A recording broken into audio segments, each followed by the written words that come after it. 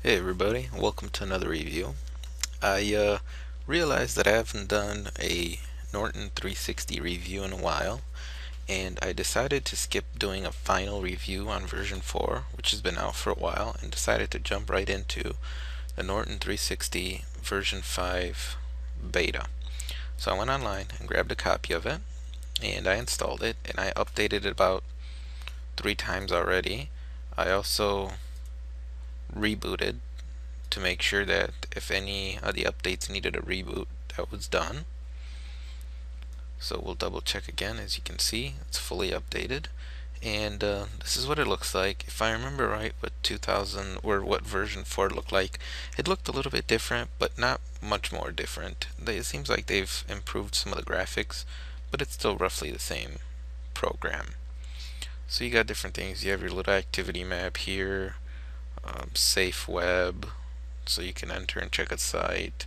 Online family you have to download another pro another uh, another I think it's not another program or I think it might be a program plus you use a website to track how your family uses your computer. Um, some of the other things you know you have PC tune-up which I really never cared for personally which is why I'm not a fan of the you know total suites 360 norton 360 and you know all the total suites and things like that because i can get better secondary programs that do a much better job than this and most of them are free so i don't have to pay for it. It's got a backup module some identity protection and you know the standard pc protection. Uh, it flips around now if you want to look at some of the performance aspects. It's got different settings which I'll leave in stock but um, you can see it's got silent settings, uh, antivirus settings, all sorts of different things here that it's set up for. So now, let's do some tests. Why not, right? We're here. These are some of the same links, and I've added a couple ones that I used in my other test that I did tonight, specifically to replace some of the ones that weren't working So let's start out with, the, with this first one here.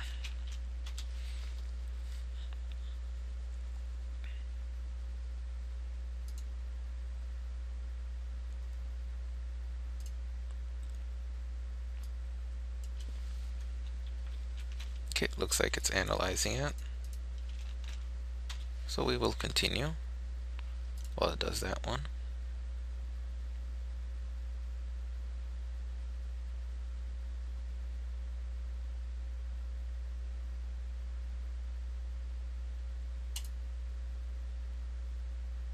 Okay, so I found that one, and it found the second one.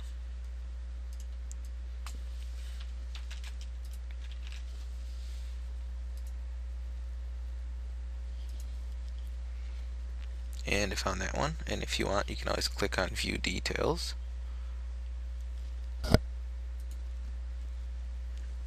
And that will open up a site, that will open up a new window where you can look at where it came from, some of the details on it, medium risk file, and what it did with it.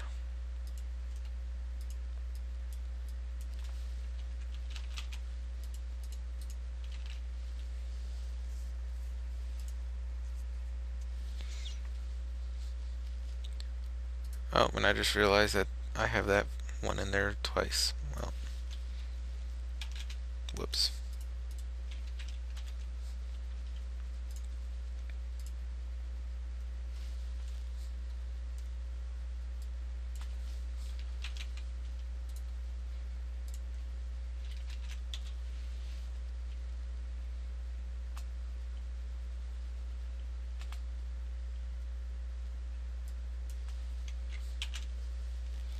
I don't know if that one's working anymore.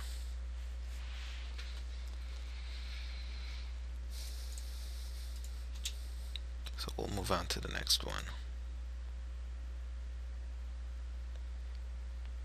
Okay, it looks like I found that one.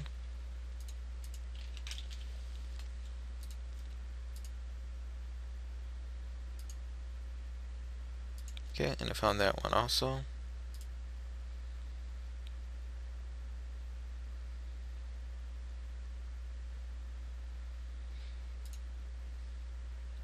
Reputation.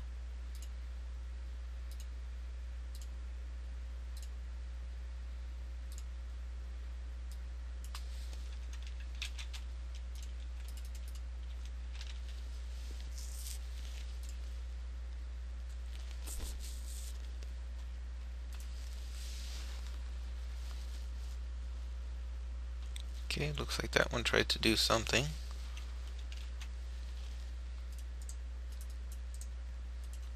So far I haven't gotten anything from Norton DNS.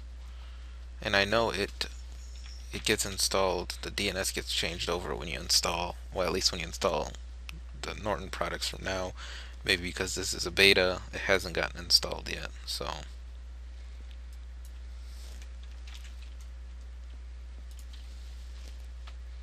suspicious.cloud and if you click on that it will take you to a definition of what it means, where it was observed, and you know different information about it.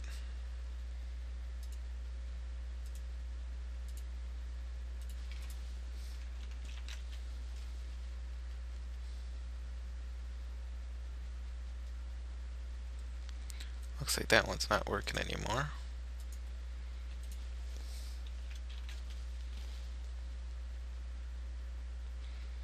It was serving malware earlier, but or maybe no, that one wasn't. That was an add-on one. So maybe it never worked. These last ones I never had a chance to test to see how well they work.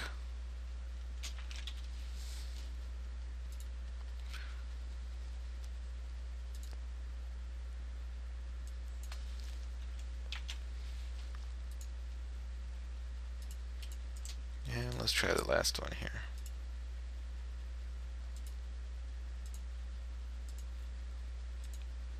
See what that one was. Another reputation one.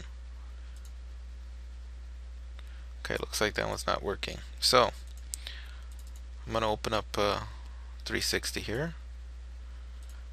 And we're going to do a scan.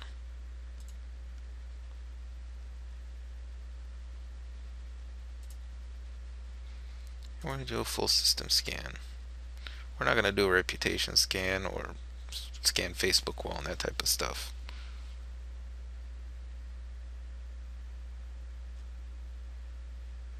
You know what? I uh, nah. That's just for trust level. That's all right. We'll we'll just do a regular full scan.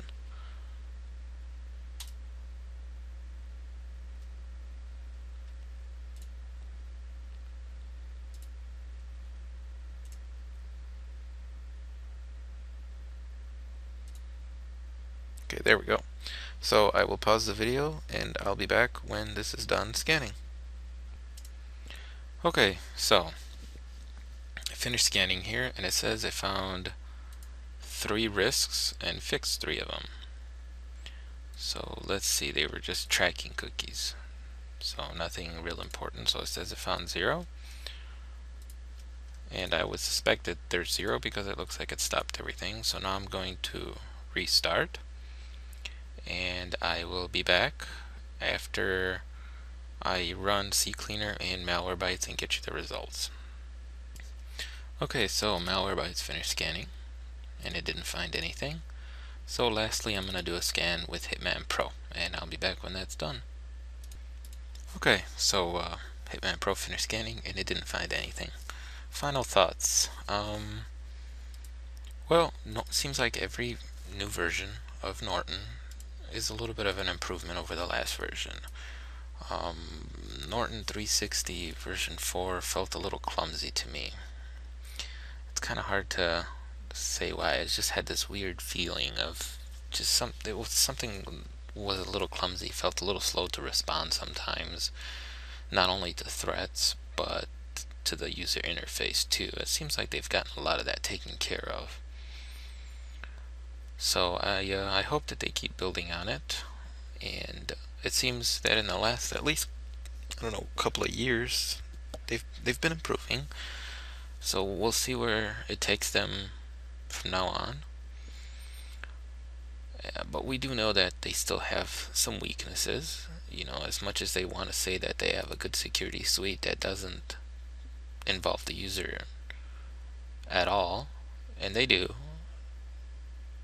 but to a point because there's still a, a bunch of malware that I you know you can sneak by this. So hopefully as they progress into building their suite, they'll improve their zero day abilities more and more because it seems to me that's where everything's going. It's it's either all or it's going to become sooner or later you can stop a lot before you have signatures or you won't be able to stop pretty much anything until it's too late.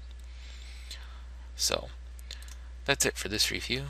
I think I got two more to do and then I'm going to slowly start up uploading them online. So everybody take care and have a good night.